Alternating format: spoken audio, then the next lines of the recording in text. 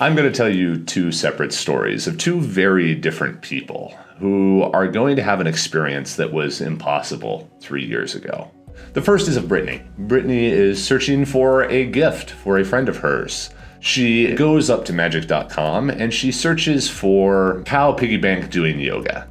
About 10 separate listings pop up, and she selects the one that she really likes. And about two to three days later, it shows up in the mail for her, and she's able to give it to her friend, and her friend is delighted. The other is of a fella named Joe. Joe is trying to fix his dishwasher. It's left over from the 1970s, back when things were built to last, but not every part is still holding up. There's a small clip inside of it that has just snapped off and he needs a new one. He takes a picture of the clip, uploads it to search, and again, about 10 or 15 listings pop up showing different versions of that clip. He grabs the one that'll work for his dishwasher and he clicks buy now, and again, two days later, it shows up. The secret to all of this was the fact that none of those parts existed until Brittany or Joe purchased the piece. Here's what happened. When Brittany searched for Yoga Piggy Bank, an AI image generator started winding up and it created those 10 different listings, creating images from all different angles of the item. And then when she found the one that she liked and she purchased it, a separate AI generated a 3D model from those images, making it fully engineering reliable, fully functional, and ready to go.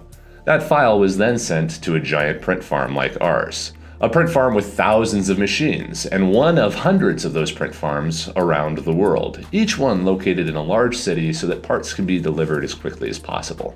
When that file was grown inside of the print farm, it was then thrown into a box and shipped just a few miles to Brittany's house. Similarly, when Joe took a picture of that clip, the LiDAR sensor in his phone scanned the part, giving it a baseline of dimensionality so that the 3D model could match exactly the part that he was taking a picture of, and then was able to create the model fully and ready to be assembled once Joe made the order. The part was then sent again to a print farm and it was printed off in carbon fiber nylon to make sure that it would never break again.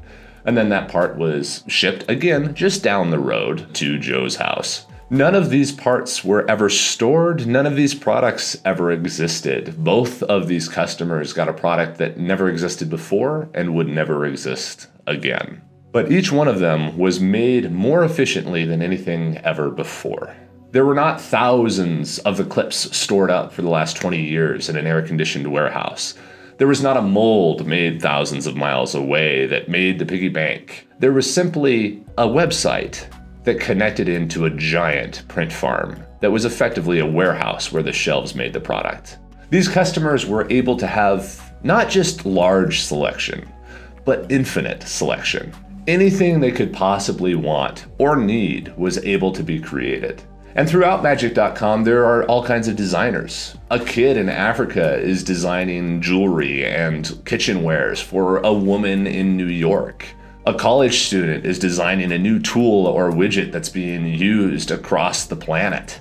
None of them ever has to know how shipping works. None of them ever has to know how the part is manufactured. They simply create and deploy. The same way websites and web apps were created before. But now instead of simply changing the colors on a screen, they're able to change the objects in your hand. As I said before, this was all impossible three years ago, but it is already being demoed today. Here at Slant 3D, we've already demoed a number of these capabilities in-house, and we're working with clients who are doing similar types of projects.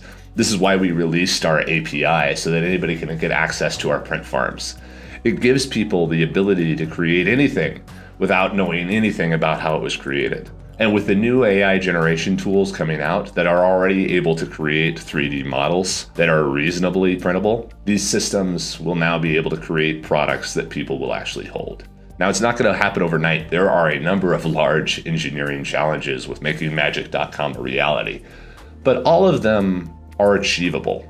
You will start seeing versions of Magic.com in focused niches come out. Things as simple as a cookie cutter generator that uses AI generated images to create the outline of the cutter so that you can get a unicorn or a smiley face immediately without knowing how to design or draw or needing to. This is going to create a world where there is less waste from overproduction. There will no longer be 25% of toys ground up at the Christmas season because nobody ordered them. No product will ever exist until somebody actually wants it. And the product that is created will be almost completely unique to that consumer. This is a world of abundance where whatever you need simply appears when you need it. There's no waste, there's no storage there's less shipping and less overall consumption because you simply ask for the thing that you need and it's able to be created for you. It's really exciting to see what is being enabled and what will be coming down in the near future.